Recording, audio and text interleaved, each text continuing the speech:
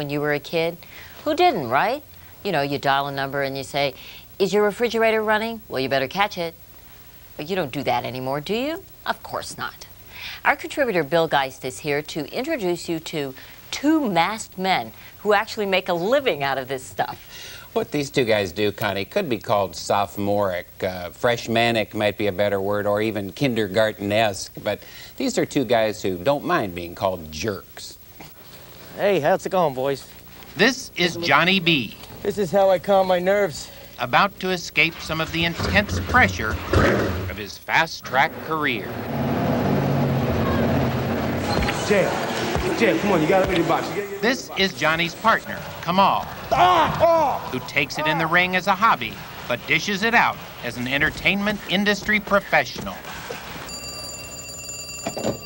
Hello? How do you say that, fruitcake? Taken together, Kamal and Johnny are known as the Jerky Boys. Shut up. They specialize in something you probably grew out of when you were 12 years old. Yes, I always wanted to sing and dance. Sing and dance, what do you do? They make prank phone calls, like this one to an unsuspecting car dealer who advertised for a new salesman. Hello, Yeah, Paul. speaking. I'm calling about the salesperson job. You want to sell cars through me or what? See, I had problems up there in Middletown. I got to get the hell out of that area. I grabbed some guy. He's, uh, you know, uh, he don't know if he wants to buy. I, I push his face right in the hood. I don't know. I don't run that kind of operation. Uh, you see, here we're off to a bad start.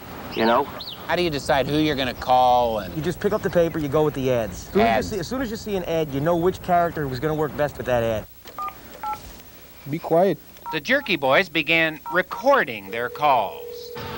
And the homemade tapes were passed from friend to friend and eventually to radio stations. Hello. Hello. Hello? Somehow, this spring the Jerky Boys hit the big time a recording contract. Now there's a warehouse near Philadelphia full of Jerky Boys CDs and cassettes targeted for your hometown.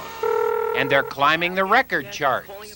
It's the hottest tape now to this date in the store. Any major rock or rap label out there, this outsells mm, by a mile. and what's the whole thing about protecting your identities? What's that all about? Well, everyone had drawn up their ideas of the characters. And to see us kind of ruins that for everybody. The the thing is, nobody believes you. so even if you take off your mask and claim to be the Jerky Boys, no one would believe you. Yeah, there's always a guy that'll say, it ain't them, it's some guy I know upstate. Yeah, it's always somebody's brother Yeah, and, you some know. guy in Brooklyn.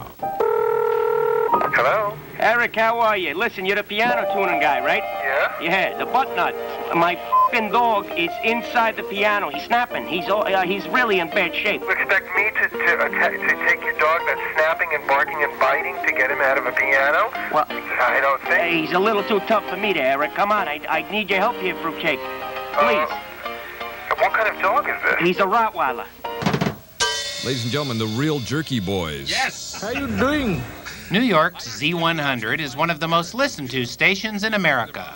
Gary Bryan and Ross Brittain are the Z Morning Zoo.